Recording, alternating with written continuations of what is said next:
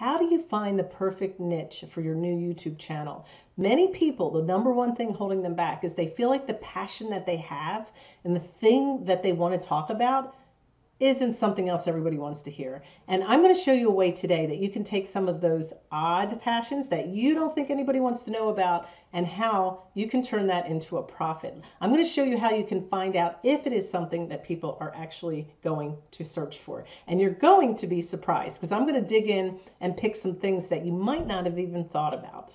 Now I thought about making this video as I was riding on my four-wheeler. I went down to get the mail, going down the driveway. So I thought I would take you on that little trip today and talk about how I came up with the idea. Actually, I was riding my four-wheeler and I thought, what are some topics that people might look for that we think without researching that nobody wants to know about it or maybe it's something that there isn't enough information and the number one thing i thought i'm going to look up riding four wheelers and I'm looking it up just like that. I'm not an expert. I don't know a lot about it. Maybe I'm searching and want to know more about four wheelers. Is it something that other people have made videos about? And are they profitable? Anybody can make a video, right? That's needless to say. But are there channels that are getting lots and lots of subscribers and lots of views with a topic like riding a four wheeler? So let's look it up. But before we go, make sure you subscribe to my channel. I have a video that comes out every Tuesday and Friday about how you can turn your passion into profit using YouTube.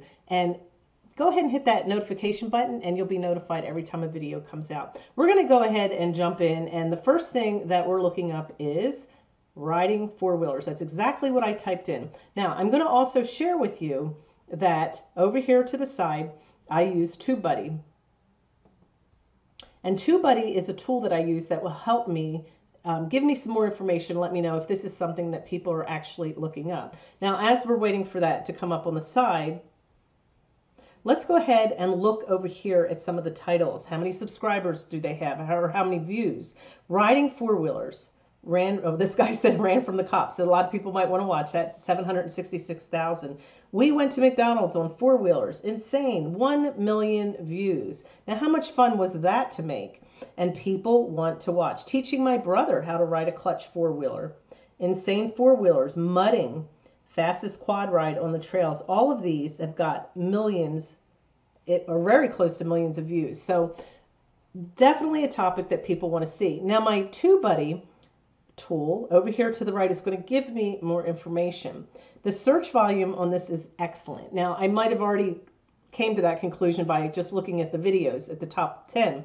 Competition's not too bad. It's fair. You want the competition to be fair or better. Um, if it has poor competition, doesn't tend to do very well, especially um, just because that a lot of people um, might not be searching as it as you would like, even though it's a topic that there's videos and you could get into the niche, but are people really coming out? And um, is there a lot of other people making them too? You want the competition, but not too much. All right, so let's go down here. This is what I really like as well. When you make a channel, let's say you're talking about four wheelers and you're like, okay, but what am I going to talk about?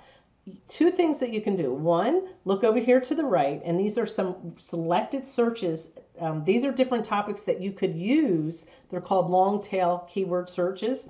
And you can make videos on these topics because these are things that people would be looking up. Um, riding four wheelers on the beach, in the snow, on the road, in the woods, in the mud. So think about it, all the different places. Somebody just talked about riding a four wheeler to McDonald's. So that leaves it wide open. You can talk about different techniques, different trails that you've been on. Um, teaching other people. Um, if you're mechanical, you could even talk about um, how to um, keep your four wheeler in good shape and how to take care of it and on and on and on. And these are some top single word keywords that you would definitely um, would want to use ATV, quad, Honda, Yamaha, and so on. So this is where TubeBuddy helps you come up with those keywords that people are searching for. So I think it would be profitable. Let's go into one of the channels. I want to go into this one here. Insane four-wheeler mudding. So let's go and his name is Brandon Price. But let's just go in. Um, obviously, there's a lot of action. You can see that up there in, in the channel art. Um, 219 million views on this channel, which is very, very good for just 500 videos. Um, it looks like they're making about two to three videos a week. The last 30 days, just 12 million views. So it's definitely a profitable niche to get into if this is something you'd love to do.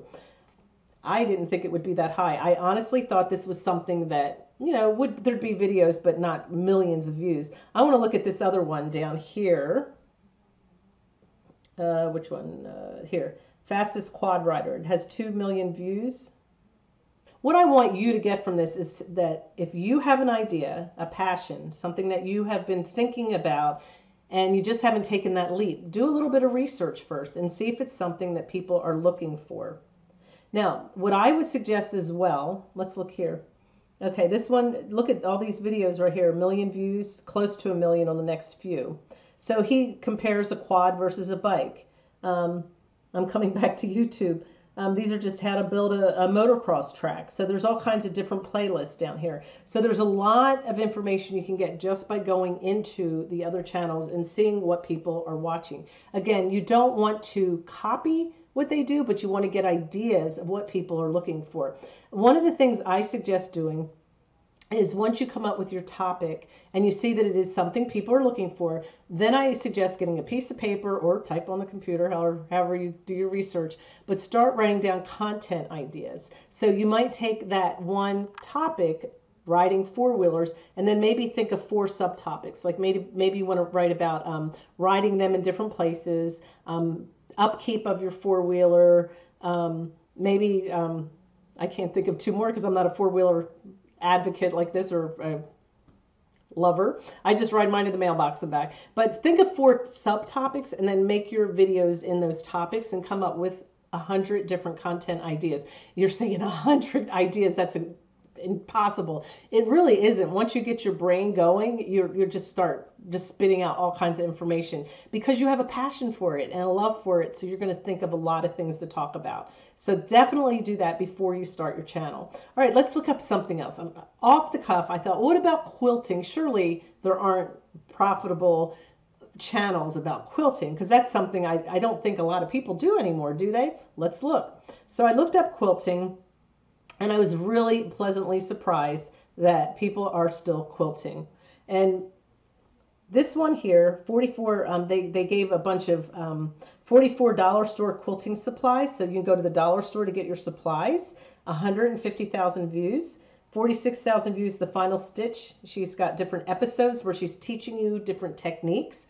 That could go on forever. You could you could go um, in your video you could do a series on how to make one certain quilt and just go step by step step and do different playlists and you've got your channel going on forever if you quilt and this is something that you love to do so definitely um, these are in the thousands not in the millions but thousands are okay so it definitely is a, is a niche if you'd love to quilt that would be um, good to get into excellent search volume now here it says poor competition what that means is there's not a lot of people out there doing it. So they're there, but you might not get, as you can see, millions of views, but you might get thousands. So um, that's what you're looking at when you look at the difference between four four wheeler um, riding four wheelers.